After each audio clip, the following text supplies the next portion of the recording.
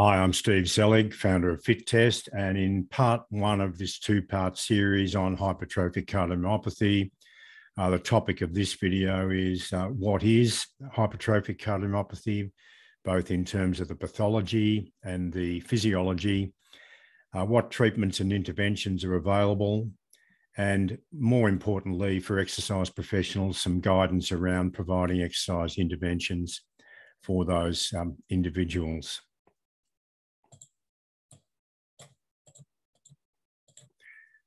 So, first of all, what is hypertrophic cardiomyopathy? Uh, this refers to global or asymmetric left ventricular hypertrophy in the absence of increased afterload. That is, in the absence of arterial hypertension or aortic stenosis, for example. And I've made videos on both of those topics, which you can go to. And um, it's used, uh, it's diagnosed using increased left ventricular wall thickness as the primary criterion. Left ventricular hypertrophy occurs due to mainly due to genetic mutations that affect cardiac uh, sarcomeres and results in pathological and often asymmetric thickening of the ventricular septum and or left ventricular free wall.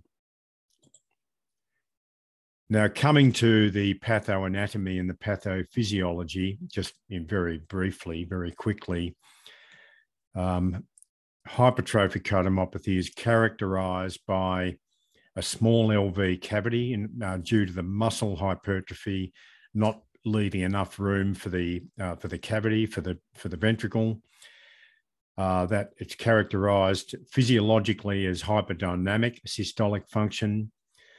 Now, the most important uh, pathophysiological and pathological element of hypertrophic cardiomyopathy, which has big impact in terms of delivering uh, designing and delivering exercise interventions is what is called the LVOTO or left ventricular outflow tract obstruction.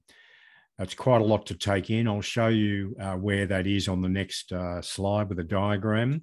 But as you can um, imagine, left ventricular outflow tract, uh, which we've come across in other videos, such as um, um, such as uh, aortic stenosis, uh, if there's an obstruction due to the muscle hypertrophy, then that creates havoc for the left ventricle. The left ventricle has to do more work. Left ventricular pressures are up, uh, systolic pressures, and even left ventricular diastolic pressures up, which interferes with, ventri- with um, diastolic ventricular filling. So this really is an, a very important uh, element, pathophysiological and patholo- pathological uh, element, and I'm going to return to this theme quite a lot in this presentation. I've just mentioned that there's impaired diastolic function. Now, what uh, some of the research has shown is that um, even in people with non-obstructive, that is in the, the hypertrophy that's not causing obstruction across the left ventricular outflow tract, there can be an increase in obstruction across the outflow tract immediately after exercise. Now, what this underlines is as an exercise professional, you can't actually measure this unless you're doing echo at the same time, and we're not doing that normally. Uh, but what you have to be aware of is that there may be some developing signs and symptoms occurring after exercise. So, recovery monitoring is really important. And I emphasize this over and over and over again in all of the work that I do and uh, it, it does amaze me sometimes that people forget the importance of recovery monitoring. And this is just an example of it. You need to monitor signs and symptoms during recovery. That that doesn't mean going mad with over over measuring, but it just means having some good symptom vigilance after someone finishes, especially a higher intensity um, session of exercise. Now, coming to some of the physiology now. Um, so, to get together with the impaired diastolic function, the left ventricular outflow tract problems and the hypertrophy impair systolic function, and that's manifested as a drop in uh, stroke volume, both at rest and in exercise. So, a lot of these patients present as heart failure, which is what really is what they are. Uh, and this will definitely impair exercise capacity and this is shown how it impairs exercise capacity uh, and talking about aerobic exercise. We have uh, VO2 being the product of heart rate, stroke volume, and um, oxygen extraction at the tissues. Now, heart rate has um, uh, really doesn't play much of a role in hypertrophic cardiomyopathy. But what I want to outline um, or emphasize again is the folly of using heart rates to prescribe exercise for, for these patients and for so many cardiac patients. Many, many of my videos have emphasized this point, and this is just another example of the same thing. Please do not use heart rates to prescribe exercise. Now, we already have touched on the impaired stroke volume due to the factors I've already mentioned. And so, what we rely on, the green light, if you like, we rely on an improvement or a, an increase in the amount of oxygen extracted at the tissues, particularly mitochondrial uh, usage of oxygen in the peripheral muscles. So, our emphasis on exercise training, yes, to try and uh, reverse some of the impairment in stroke volume, how much of that we can do without medical assistance, such as uh, pacemakers and some of the pharmacology, is very probably unlikely, but we, we can certainly uh, try to make the pump a better pump. And there's some evidence that I'll come to that touches on this later in this presentation. But we have a particular emphasis on the periphery in improving oxygen extraction of the peripheral muscles. And all of this should help to prevent uh, a very big impairment in oxygen utilization, VO2. So just coming to left ventricular outflow tract obstruction, here we have uh, global, in this case, uh, this um, uh, cartoon shows global hypertrophy of the left ventricle. And in so doing so, the cavity size is impaired or reduced. We have, and that will impair left ventricular diastolic function in terms of filling but also the systolic, um, there's a systolic impairment because this thickened muscle creates a, uh, a pressure gradient and a, an obstruction across the left ventricular outflow tract into the ascending aorta. So, unfortunately, these patients have both impairments of the left ventricle in systole and also in diastole. And then it feeds backwards into the LA, the left uh, atrium, and that also will have impaired diastolic uh, function. And we see this very much in heart failure with uh, reduced ejection fraction or diastolic heart failure, where the left atrium has to compensate for what's going on in the left ventricle.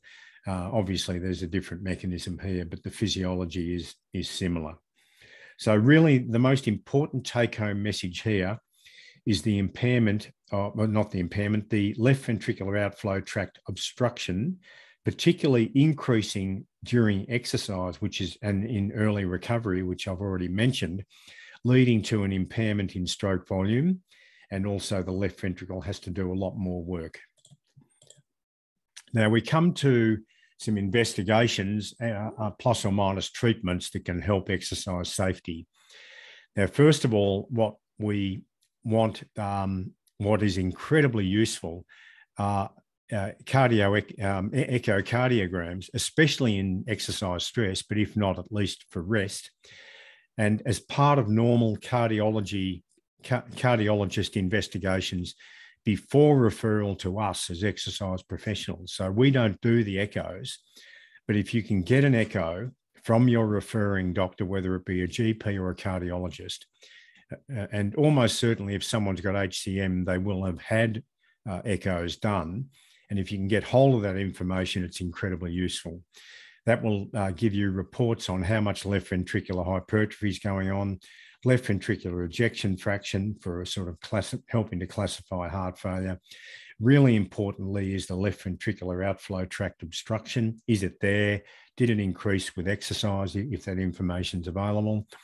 Uh, and then diastolic and systolic function, and also comorbid cardiac uh, disease, uh, such as valvular disease, which can make these things worse, and of course, coronary artery disease. Now, if you can get all this before referral, fantastic. This will add prognostic value and make exercise safer.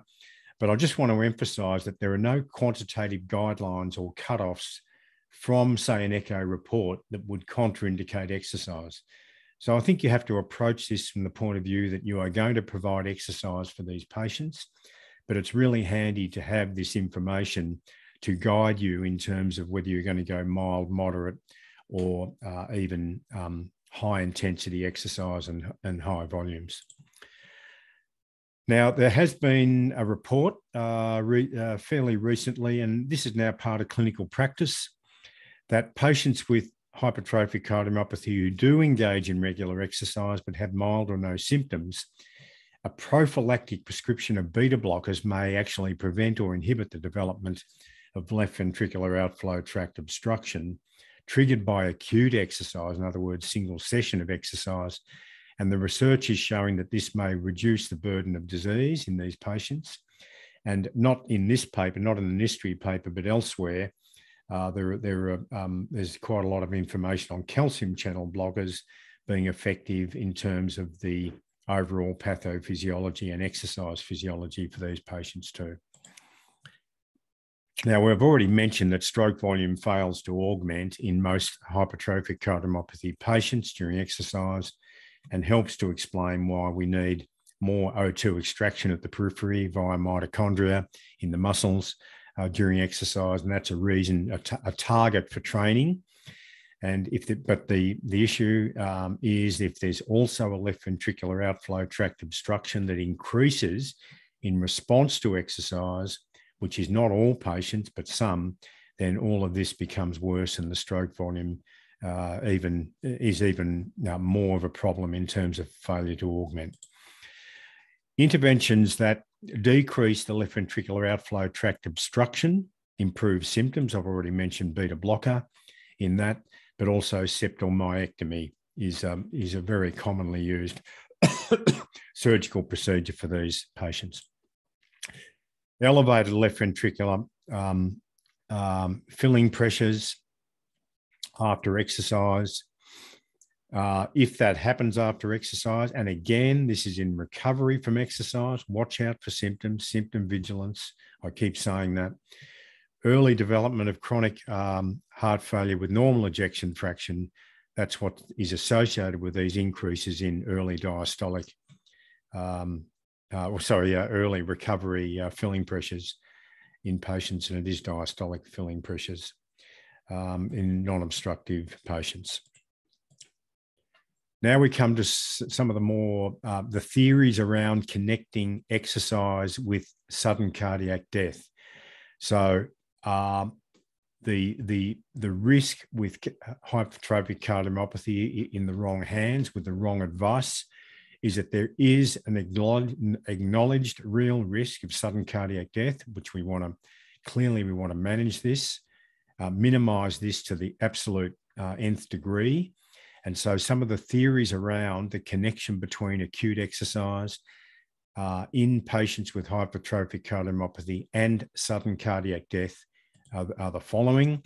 So there's an increase in left ventricular outflow tract pressure gradient that is the amount of obstruction across the left ventricular outflow tract, causing the left ventricle pressures to go much, much higher in uh, exercise, during exercise. And I'll have something more to say about that later in the presentation. Increasing work of the heart and can cause myocardial ischemia acutely in response to exercise. There is some, despite the small chamber size, there is some biventricular stretch um, put on with exercise. That goes for everybody, but it'll be more of a risk for these patients. Nothing you can do about that. You just have to manage it, try and manage it, uh, manage the symptoms and stop if people become symptomatic. We know that there's a shift towards sympathetic dominance over vagal as they go to exercise, and any or all of these could cause life threatening arrhythmias. Uh, chronic uh, exercise may cause uh, cardiac remodeling, um, which can increase myocardial fibrosis and myocardial disarray, and that can cause arrhythmias at all as well. So the arrhythmias can be in response to a single exercise session or in response to cardiac remodeling. Now, the conventional wisdom based on expert opinion rather than randomized controlled trials or and or level A evidence uh, was to limit exercise and physical activity to no more than moderate intensity and moderate volume due to risks of sudden cardiac death. But those with hypertrophic cardiomyopathy who avoid exercise altogether due to a fear of sudden cardiac death are now susceptible to lifestyle illnesses, including conditions such as coronary artery disease, hypertension, type 2 diabetes. So we need to find a way to exercise these clients safely at higher intensities and volumes to decrease the overall mortality and morbidity, knowing that there is a small increase in risk of sudden cardiac death uh, due to the actual primary condition. So it's really a balancing act here.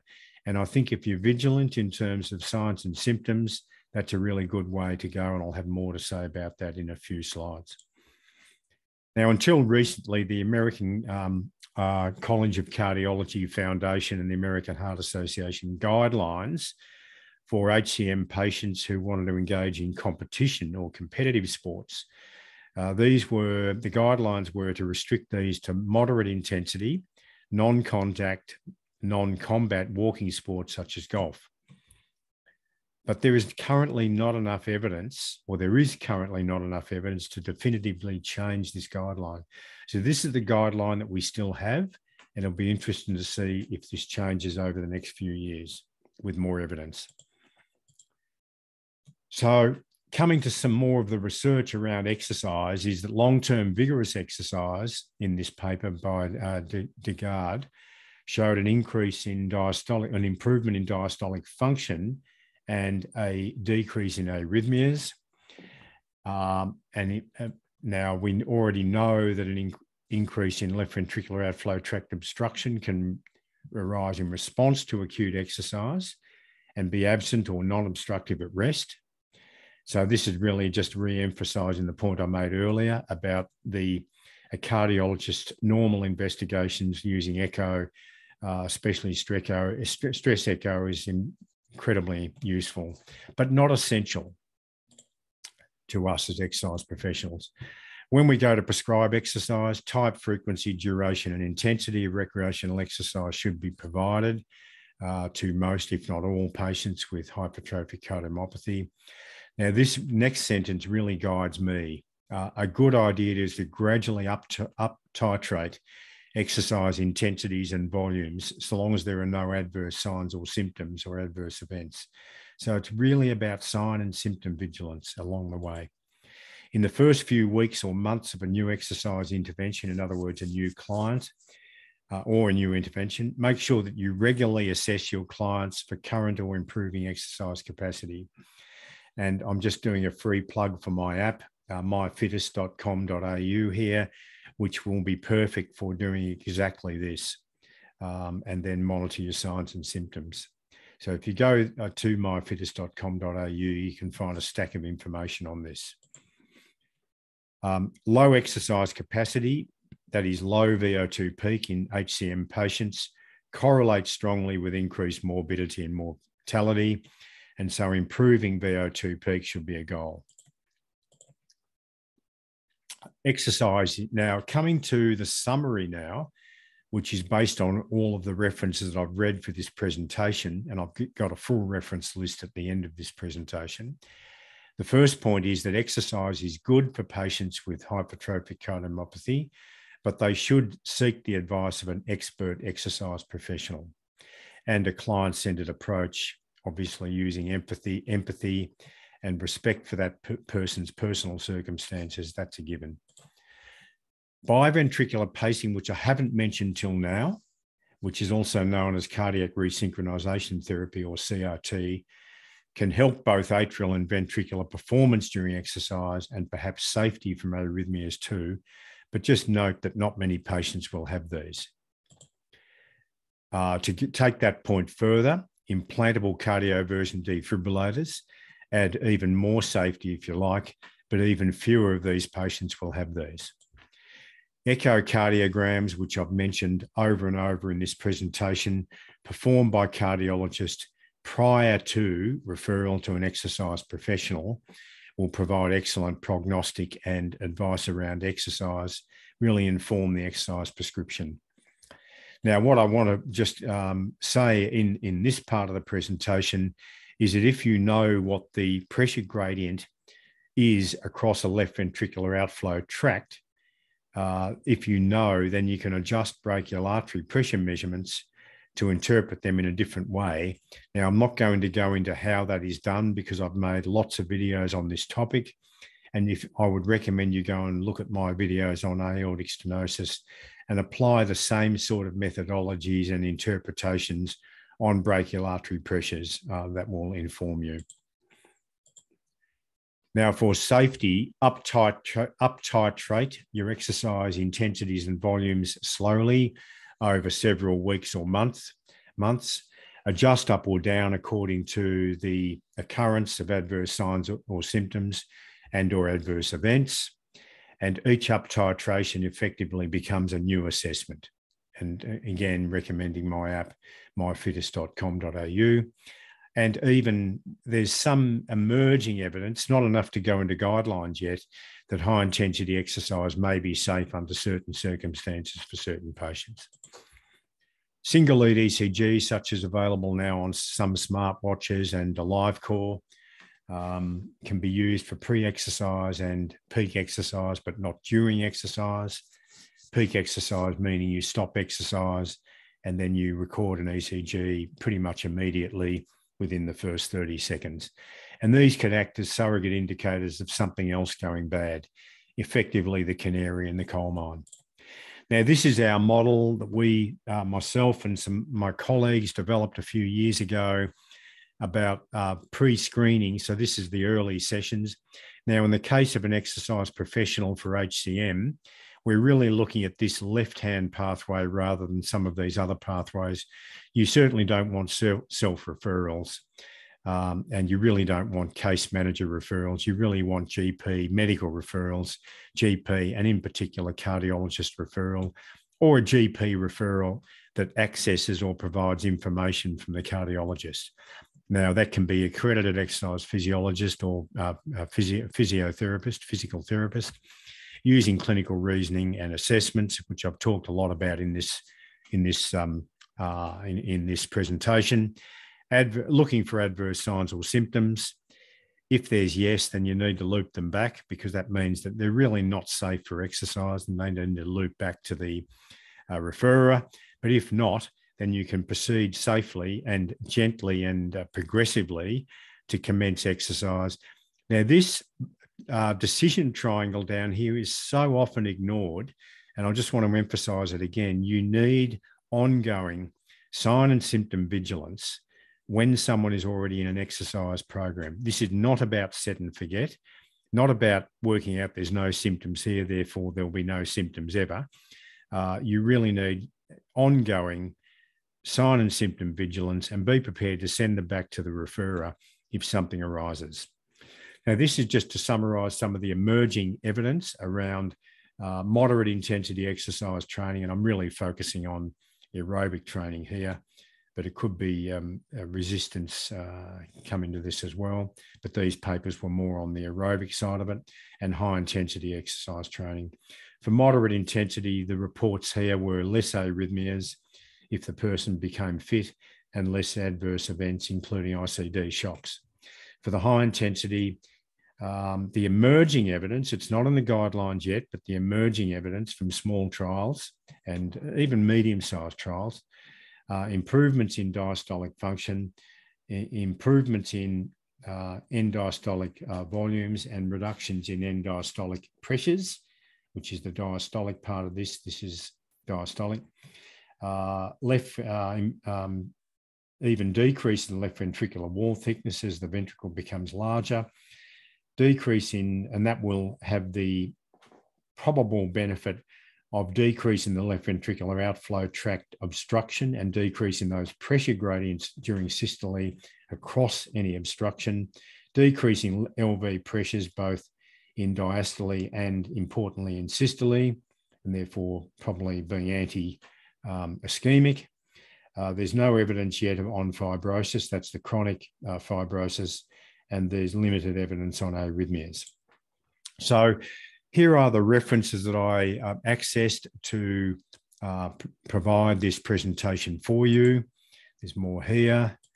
And then here, we've got some other resources from the American College of Cardiology, and then a very nice presentation which you can access here. This is a, uh, a, video presentation from Radcliffe Cardiology, beautifully done on emerging therapies, which are not in clinical practice and they're not in the guidelines. But it's really good if you're interested in looking at where the emerging therapies are, particularly with myosin uh, inhibitors and angiotensin receptor blockers. So thanks for watching this um, presentation. And um, as always, you can access uh, my videos. This video will be up on my website, uh, and as are all of my videos on various pathophysiological topics for cardiac um, conditions and how to and guide you on exercise. So um, you can look at all my videos on your phone, but if you go to become a subscriber, it's best done on a laptop.